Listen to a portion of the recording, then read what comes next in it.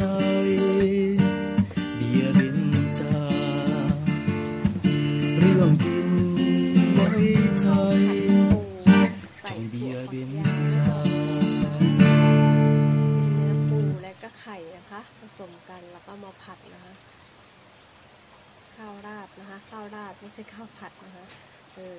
เขาเรียกอะไรผัดถั่วฝักยาวใส่เนื้อปูนะคะแล้วก็เบียก็ใส่ดอกแครแล้วก็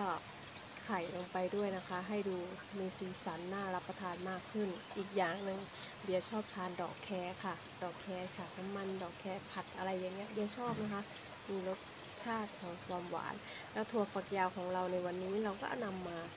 ประกอบหรือปรุงด้วยนะคะ ก็มีเนื้อปูบ้างอะไร ประมาณนั้นนะคะ เอามาอวดเฉยๆนะคะ ไม่ได้ทำให้ดูนะคะ แต่วิธีทำอยู่ใต้คลิปนะคะเพื่อนๆ ถ้าเสียงเบียร์เบาก็ขออภัยนะคะ คลิปนี้เบียร์มาสั้นๆค่ะ ไม่มายาวไม่มาใหญ่โตนะคะ อืมนี่ค่ะ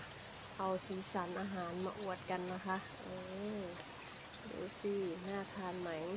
จานนี้จานโตพูนๆเลยนะคะทุกท่านเพื่อนๆอืม ไฟดับ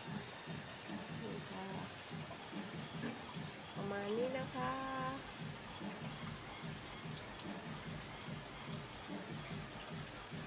หารเบลล่าเบลล่าอาจจะมองไม่เห็นเนื้อปูนะ เนื้อปูจะมีนิดหน่อย แต่ปูนี่เนื้อปูนี่ห้าตัวนะคะ ใส่เนื้อปูห้าตัวนะคะ ปูตัวละสิบบาทนะคะ ใส่ไปห้าตัว แกะเอาแต่เนื้อนะคะ มาใส่ ใส่ผัดลงไปแล้วก็ใช้ไข่ด้วยค่ะ เพื่อเพิ่มสีสันเนาะให้ดูน่ารับประทานมากขึ้นด้วยไข่ไก่นะคะท่านแล้วก็ถั่วฝักยาวที่เราปลูกเองนะคะ เออ ก็ได้มีความน่ารับประทานเพิ่มขึ้นนะคะ อวดอวดๆนะคะ อวดอวดๆเดี๋ยวจะชิมรสชาติให้ดูนะคะ ว่ารสชาติมันจะเป็นยังไงนี่ค่ะเนื้อปูนะคะเป็นเนื้อปูไหม ข้าวด้วยนะคะ ข้าวของเราในวันนี้คือข้าวเหลืองอ่อนค่ะ นี่ทำโตๆกันเลย